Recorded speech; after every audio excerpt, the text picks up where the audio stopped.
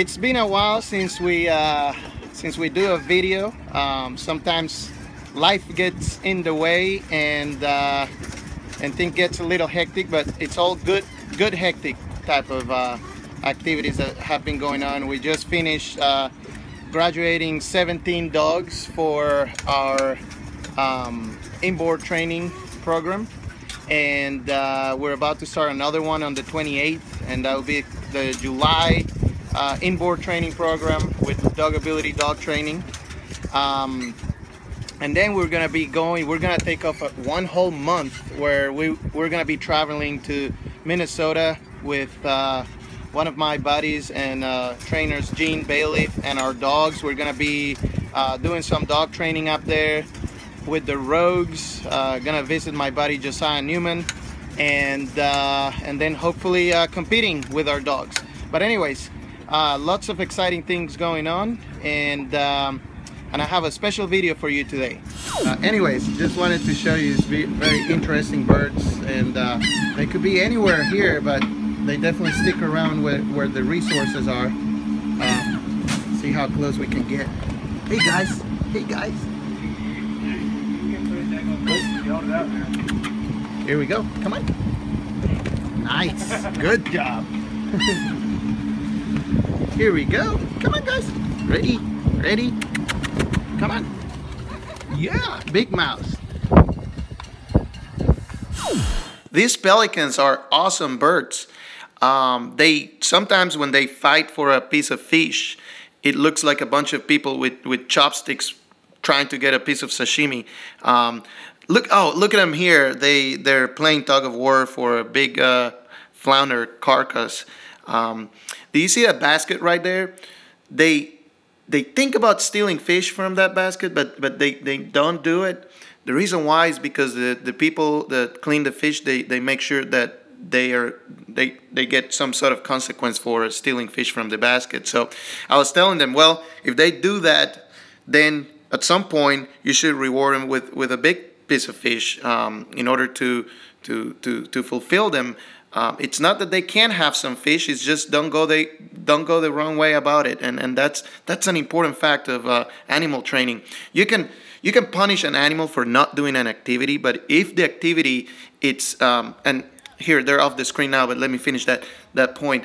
If the activity is fulfilling to their nature, to, to, to their biological needs, uh, sometimes you can punish that activity, but they'll, they'll still be, uh, they'll, they'll attempt to continue it. So you, you just have to confirm, hey, this is the way you should go about it. It's not that you can't have a piece of fish, but don't steal it. You can have it uh, if you go the right way about it. Uh, here on the screen, uh, you see a couple of our a few days ago, uh, 17 dogs graduated from our board and Train uh, program, the high reliability um, obedience program.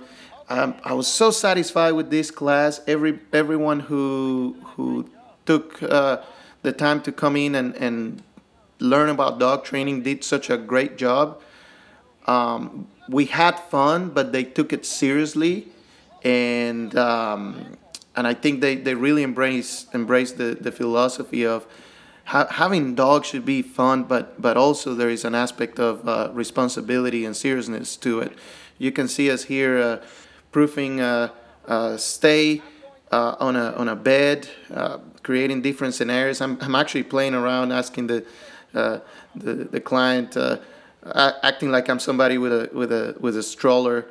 Um, we do this in a, in a controlled environment and all these dogs uh, stay with us for four weeks and their people come at the end for five straight days consecutive days and learn about the science of animal learning.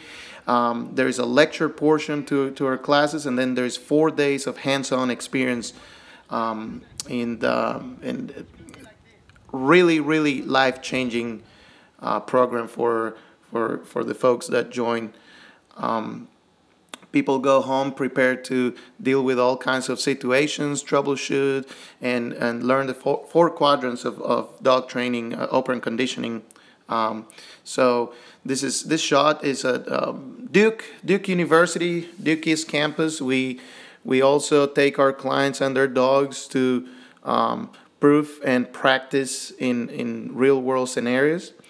And um, again, guys, all of you that, that joined our, our, our the one the session that just ended, thank you for from the bottom of my heart. You know that I do this. This is uh, this is my passion. Uh, it, it's definitely not for the money. Um, even though it's become a, a, a, very good thing, but it's it's it's really something that that we're seeking to, to change lives. The other cool thing, we have a, a, a pretty good uh, student to teacher ratio. We can have a, have a couple of resources um, so we can coach uh, large groups of people, and, and that helps. Uh, and uh, thank you to, to also my staff, uh, all of you guys. I really appreciate you, and uh, thank you for doing a great job. In, in the distance, you see Gene. He's, he's the one of my trainers, and um, he's someone who very has very very natural dog skills, and and is a very capable person when when it comes to dog training. Um, anyways, I wanted to say hi to everybody. Um, and just let you know there is a video coming within the next few days. Uh, here's a little snippet of the beginning of that video. Sorry, can't do it right now because it will be a very long video, but I'm gonna gonna show people how I play with my dogs and uh, how how I condition them and keep them fit. Um, and anyways, it can be done with with any kind of dog. But uh, I'm gonna have actually three three videos, one for high energy dogs, one for uh, older dogs, but they might they might be still high energy dogs, but then they're getting up in age, so we play a little bit differently. And then I'm gonna show you for for those of you out there uh, with dogs that, you know, those dogs that are kind of like the couch potato, they don't want to do anything. Well, you if you get creative, you can find activities for your dog to do and and and because I understand not everybody has a high drive dog that wants to do all kinds of things every second of their life, but I, I will show you sort of like three segments of it. You know, high drive dogs, uh, high drive dogs that are now older, and then the third one, um, just the average pet that, that it's not too motivated to do anything. We're, we're going to show you how you can, uh, with some creativity, um, motivate your dogs to, to do fun things. And um, not only that, when you do things with your dogs, you create a bond, uh, a very special bond with them. And as long as that, it's um, it's something that that is uh, within the framework of of of, of rules and, um, and and and fun, you you you can see the what how it bleed over uh, to your uh, to your life. Anyways, don't want to hold you here for too long.